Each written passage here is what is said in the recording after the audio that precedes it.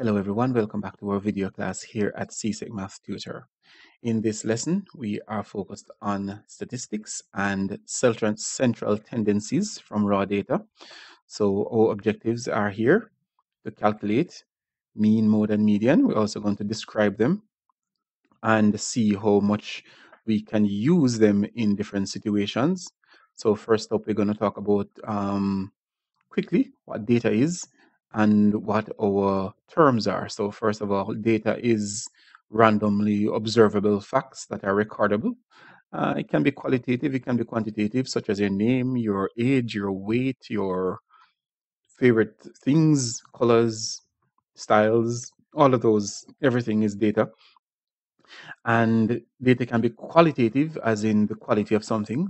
Um, so you can talk about um, your likes and how much you like, or it can be quantity, in which case you can count it. So your age, for example, um, is quantitative, whereas your the things that you like are qualitative. And if you if you look at quantitative data, then quantitative data can be broken down into discrete or continuous data. This is actually important. Um, so discrete data can only take whole number values, and continuous data can take whole number and fractional values. So if you're looking at data that can only be whole numbers, such as the number of persons in a room, then that has to be discrete because it can only be a whole number. But if you're looking at the, the size of your foot, then your foot size can be continuous. So you can wear one and a half, two and a half, three, four, etc. Now, mean, mode, and median are what we call central tendencies. And central tendencies meaning that they are towards the middle or they tend to define um, a group, a, a, a set of numbers in terms of giving you an idea of how a set of numbers is. So the mean is where we add up all the numbers and divide by the number of numbers. We call it the arithmetic average. The median is the middle number. And to find that number, you need to put your numbers in order first, your data in order, and then you find the middle number. And the mode the mode is just the most popular data type that appears in your in the data that you're working with. All right. The range gives us an idea of how the how the data is spread. So the range is not a, a central tendency, but it tells us how far apart the data is from the lowest to the highest, and we find that value by subtracting the highest value, the lowest value from the highest value. So um, which average is better depending on what you're doing. Um, each has advantages, each has disadvantages. And as we go through the questions, you will get an idea of what we mean by um, which average is better. Generally depends on the situation that you're working with. All right, so let's look at some questions now and um, get an idea of what we mean when we um, when when we try to work with the averages. So first up, we have a survey of 10 households the number of children, was found to be um, 415 going through these and 4372 341 these are the number of children. And the first thing we want to do is to put these numbers in order. And especially since we're going to be looking at the median. So let's put these numbers in order first starting with the lowest one one. And there's another one. And there is a two Mm, there are some threes in there. There are two of them. So three and three. And there are some fours as well. There are two fours. Actually, there are three fours. One, two, three. And then there is a five and a seven. So once we have organized our numbers, we can start answering our questions. And the first question is to state the mode so the mode is that number that appears the most. And in this case, we see that um, 4 is the number that appears the most. So our, our mode there is 4. So we can just write that down. The number that appears the most, it's the most popular. That's our mode. The mean number of children, we want to find that too. The mean is the arithmetic average, which means that we're going to count up all the numbers, add them up, and divide by the number of numbers. So there are 10 households. So we're going to add up all these numbers. And in adding up these numbers, I'm just writing it out here. The mean is is given as the sum of the numbers divided by the number of numbers. Adding up these numbers gives us 34, and there are 10 households. So we end up with 3.4. And now the median um, number, the median number is the middle number. And of course, you must put your numbers in order to find the middle number. We have already done so. So 1, 2, 3, 4, 5, 6, 7, 8, 9, 10. Those are the 10 numbers that are represented in the in the box here. And we want to find which number is in the middle. Now we want 5 on each side. So 1, 2, 3, 4, 5, which means that there's no number in the middle. And in a situation like this where there's no number in the middle, what we do is that we add the two numbers closest to the middle on either side.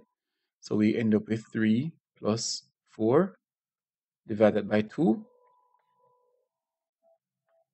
and we end up with 3.5. So our median here is equal to 3.5. Now remember that we're talking about children, number of children per household. So this data is saying that the modal number of children per household is 4. The mean number of children per household is 3.4 and the median number of children per household is 3.5. Now, the question continues by saying a researcher says that the mode seems to be the best average to represent the data in the survey. Give one reason to support this, this statement. Um, the issue is here we are dealing with discrete data. And discrete data, remember, can only take whole number values. So if you're talking about children, um, to say three and a half children, it doesn't sound um, doesn't sound right when you're talking about children because you can't have a half of a child. Um, of course, it, it would work in some situations, but generally, when you're saying 0.5 of a child or 0.4 of a child, you can't have a fraction of a child. So the researcher's argument that the mode seems to be the best one um, has merit in that because you're using discrete data, it makes sense to use the number that is whole. And so that is one reason um, why we could choose the the mode as um as, as the best average for this kind of data. Let's look at another one. Here we have eight people working in an office and they are paid hourly rates as follows 12, 15, 15, 14, 13, 14, 13, and 13 dollars per hour. And we are to find for this data the mean, the median, and the mode. Now, first again, we're going to put them in order. So I'm going to put them in order right here. 12, that's the lowest one. The other numbers are 13. There are three 13s. So 13, 13, 13. And there are two 14s. And there, there are two 15s as well. Uh, importantly, when you're setting up your data, you must remember to count them. One, two, it's eight people.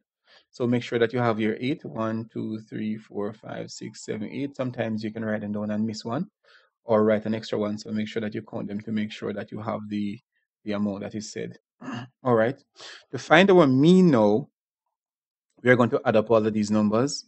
So in adding up these numbers for the mean, we end up with adding 12 plus 13 plus 13 plus 14 plus 14 plus 15 plus 15. We end up with 109. And that divided by 8 gives us um, 13.625, which we're going to round off since we're dealing with dollars and cents as 13.63, which means $13.63. The median is your middle number. So one, two, three, four. Which number is in the middle? One, two, three, four. Four on this side, four on that side. There's no number in the middle. So again, we're going to say that our median is the mean of these two. So we have 13 plus 14 divided by 2, and that gives us 13.5. So the median is um, $13.50. And then the mode, so this is part one, part two, and part three. The mode is the most popular data type. The most popular data type is 13. There are three of them. So the mode is 13 and $13 at that. So we have our three averages, the mean, the mode, the median, constructed from raw data.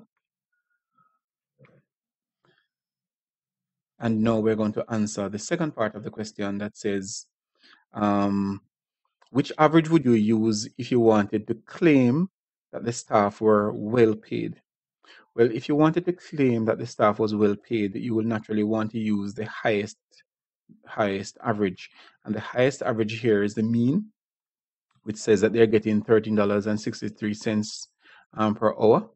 Of course, um, there are persons in there that don't. For example, this person gets um, $12. So one, two, three, four. There are four persons who are not getting that. But the, the mean is affected by extreme values. That is when you drop one big number in there, it changes everything, or one small number, it changes everything. So if you wanted to claim that they were well paid, you would use the use the, the mean in this case because the mean is the highest. If you wanted, of course, to claim that they were badly paid, then of course you want to use the lowest average. And the lowest average here would be the mode. Because with the mode, they get um, $13 an hour. Whereas with the mean, they get $13.63. So be aware, statistics can be used to do different issue, do different things. Um, persons will use numbers to make their case. Persons will use numbers to try to mislead you for um, from time to time to let you believe whatever they want you to believe by quoting the numbers that suit them. And so, in in statistics is just one of those um, areas of mathematics that allows persons to convince other persons to their way of thinking based on how they interpret the numbers that they see. So there are three averages. So if somebody says the average is, you may want to ask them what average because there are three and they're calculated differently and they may not represent, in your view, the total picture. None of them represents the total picture of what is going on up here. One says $13.63, one says $13.50, one says 13 and that is not exactly the whole picture of what is going on here. But these are what we call the central tendencies, the mean, the mode, and the median. Let's look at a final question. And here we have two people working in a factory making car parts. Table shows the complete parts they make in one week. So we have Randy, we have John, and we have the number of parts that they make per week. Now, find the mean and the range for Randy and John. Let's talk about the range first. Range is the difference between the lowest and the highest value. So the range, um, the range for Randy would be the highest number, which is 22, minus the lowest number, which is 20. So Randy has a range of 2 whereas John, his highest number is 36 and his lowest number is 12. So we have a range of um, 24. Now the, the range gives us an idea of the spread and the idea is the smaller the number, the smaller the spread, which would mean more consistency. And the larger the number, the larger the, the, the range, it means the farther apart the numbers are, which leads to the conclusion of inconsistency. All right. Now we have found the ranges for the for both men. Now we need to look at the mean for both men. So let's look at the mean. To look at the mean, what we're going to do is add up the numbers for Randy and in and in adding up these numbers we end up with um 104 the mean for let's write them down for um randy. Gives us 104 Of course, he works five days a week, and that gives us 20.8, 20.8 parts per week. And for John, once you add up these numbers, 30 plus 15 plus 12 plus, plus 36 plus 28, you end up with um, 121 divided by 5, and that gives us 24.2 parts per week. So we are going to use these numbers to discuss some issues dealing with the two workers. And the first one is who is more consistent? Um, looking at the numbers, you can see that Randy is obviously the most, um, the more consistent of the two. And if you didn't know Randy's numbers and you saw his range, then his range would tell you that he's more consistent because his um, range is small, and a small range means consistency. Numbers are close to each other. So Randy is more consistent as compared to to, to John. Um, who makes the most parts though? Definitely. Um, John makes the most parts. He has a higher average, and he has a higher number of parts, 121 compared to 104. So this is definitely a win for John. Um, the last question though, who is the better worker? This is a very, very tricky question and subjective as to why you would want to consider one better than the other one. So who is the better worker? Um, we could say Randy is better because he's more consistent. And you could say John is better because he makes more parts, depending on on which which definition of better you are using. Um, better is a subjective word, so in that case, you would have to state your point and and back it up by what you by what you um, intend to say. So if, if you if you decide that Randy is better, then you're going to talk about Randy's consistency day after day coming in, producing the same same or similar number of parts. Or if you can talk about John, who is better because he produces more at the end of the week than than than Randy.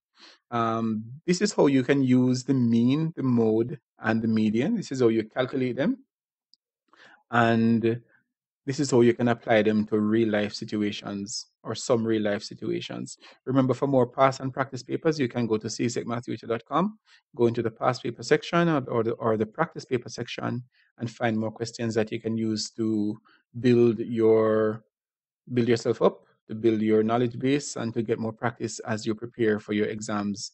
Good luck and keep working hard.